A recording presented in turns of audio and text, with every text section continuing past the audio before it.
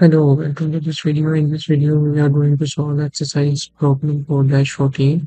And in this problem, we are actually required to make a different uh, replication that is 60,000 minutes and 100,000 minutes and then compare the result with those of exercise 4-13 so let's see what is exercise 4-13 so in this exercise you can see the part arrive at a single machine system according to an exponential inter-arrival distribution with mean of 20 minutes. The first part arrive at time 0 and the arrival time uh, the part are processed at the machine and the processing distribution is triangular distributed with its parameter value of 11 16 and 18 the parts are inspected for each part. There is a 0.24% or you can say 24% probability that it will need to be sent back to the same machine for the reprocess. And uh, then next thing is there is no limit on how many times a given part might have to go through the machine for processing or reprocessing.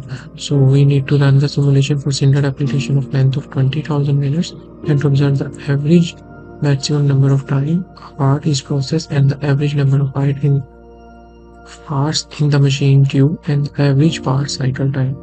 So let's move to the arena home screen and let's see how we can build the model. Let's just start.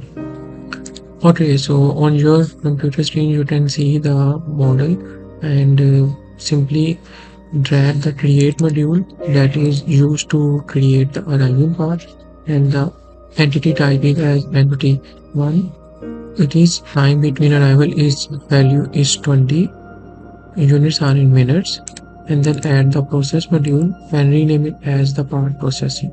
The logic is seize delay release and add the machine and the resource name in this case is machine and the delay time is distributed with its parameter values of 11, 16 and 8 as prescribed in the test program. Okay, after that add an assignment module from basic process template. And here you can see I have added the type uh, under the assign module is attribute and the name of the attribute is visit count. And its new value is visit count plus 1 so every time its visit count attribute actually increasing its value with addition of plus one value. Okay and then add a decide module for checking is the part is good enough or not and there is a 76% chance uh, for uh, the part move to exit the system and 24% chance is the part is moved back to the processing workstation and after the decide module add the record the visit uh, count uh, module and in this module add its statistics uh, definition type as expression and its value is visit count and record the visit count attribute that is uh, primarily uh, defined under this assign module that is visit count. And after that uh, the entities will leave the system. And here is the animation and move to the run setup. Uh, number of replication is 1. Set its replication length at 6000 minutes and base time units are in minutes. And now let's run the system. And here you can see part enter to the system and this is the uh, processing part processing workstation. And the simulation it goes on. So let's fast forward it to view the results.